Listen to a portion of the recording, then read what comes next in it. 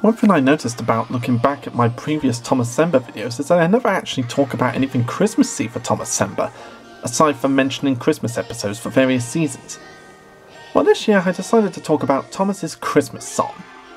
If you were a kid in the 90s, then you would have had to have purchased the Thomas the Tank Engine Friends biggest ever Christmas collection VHS tape in order to see this song.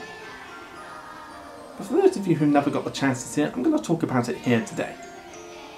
Thomas's Christmas Song is a song created exclusively for the UK release of the biggest ever Christmas collection.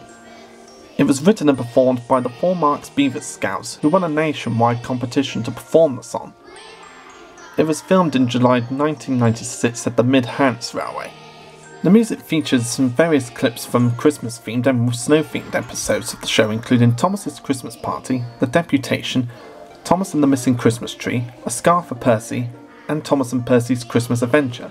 New footage for the song was made with the Four Marks Beaver Scouts singing the song at the station, joined by Thomas the Tank Engine and the Fat Controller. Now when I was a kid I obviously never heard of this competition, otherwise I might have entered it myself.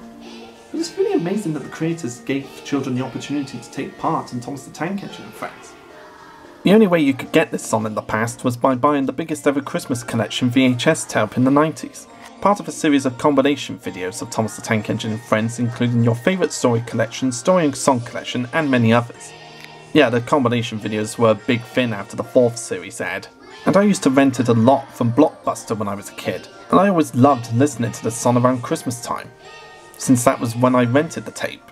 And you might remember I loved this song so much that I used it for a TTT music video a few Christmases back.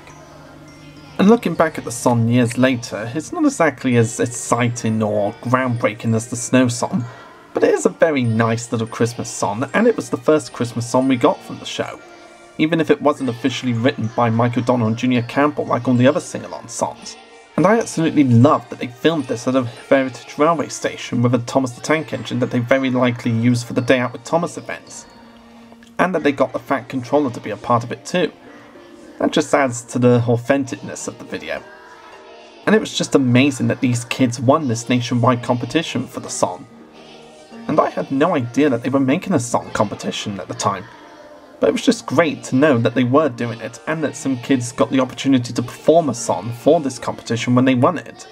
And as I mentioned, the only way you could get this song in the past was by buying the biggest ever Christmas collection videotape. But for some reason the song was never released in the US which I find a damn shame because I think American kids might have enjoyed this song. But thanks to online community, we're able to see the song through various forms like say YouTube. Thomas's Christmas song is a hugely underrated song that was written for the show by a group of children, and it would be really nice to see Mattel re-release it at some point in the future. Thomas's Christmas Song is a nice cheerful little Christmas tune performed by the Four Marks Beaver Scouts who won a nationwide competition, who were very lucky and if you haven't heard this song yet, I'd highly recommend listening to it around this time of year. It may not be as spectacular as the Snow Song, but it's a nice little Christmas tune that helps you get into the festive season. And it's a great listen for Thomas the Tank Engine fans everywhere.